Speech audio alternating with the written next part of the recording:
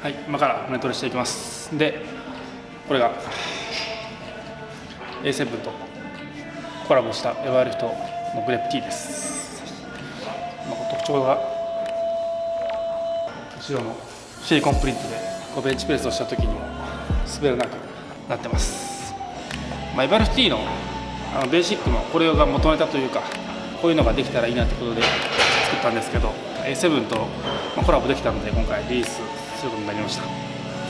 で普通のベーシック T よりも、まあ、グリップがすごく強いです。これもめちゃめちゃ強くてですねがっつり止まります、ま、スカットとかベンチするときはすごく滑りにくいので皆さんも試してみる価値はあるかなと。でこれ僕1 8 0センチ9 0キロで L サイズを切ってます、えー、とワンサイズぐらい大きめ。でちょっと小さめに切る方がそのグリップの特性が生きるので、といろいろ参考にしてみてください。でこのハーフパンツの方もエバーリフトのオリジナルです。でこれこの部分がリブになっててすごく伸びるようになってます。なんでこうスカットのしゃがんだ時も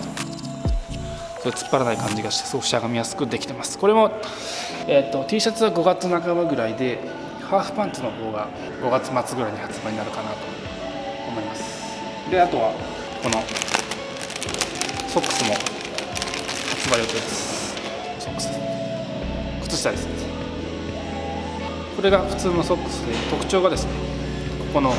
灰色になってる部分が、まあ、ラバーがむき出しになってます。でこれも滑りにくくなってます。靴の中でこう滑るっていうのが滑りにくくなってるのですごいあのスクワットの時とかベンチプレススクワット何でも筋トレの時にこう靴の中でずれないような感じになってます、まあ、すごく力が入りやすいような靴下になってるのでぜひ皆さんこれもこれも、えー、5月の半ばぐらいにリリースできます。でこれが普通の丈でもう一つこちらの長い方があります。これデッドリフトソックスですね。これはデッドリフトの時にすねが擦れないように長めのやつですね。これも一緒に発売します、はい、ちょっとベンチプレスをしていきます。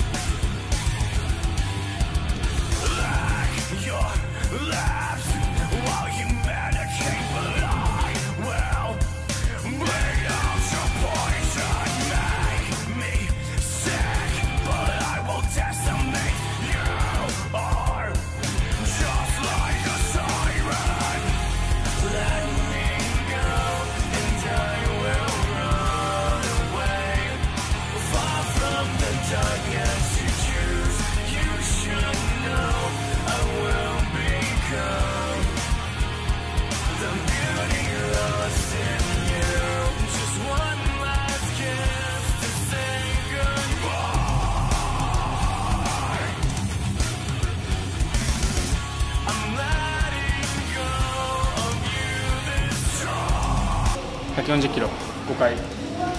まあ、一応できたんです。ちょっと重すぎましたね。動画だったんで張り切りすぎました。で今ベンチはですね、週4回ぐらいやってて軽い日重たい日オフ。で大体週4ぐらいやってます。軽い日が大体マックスの75%ぐらいで、まあ、5レップ4セットぐらい。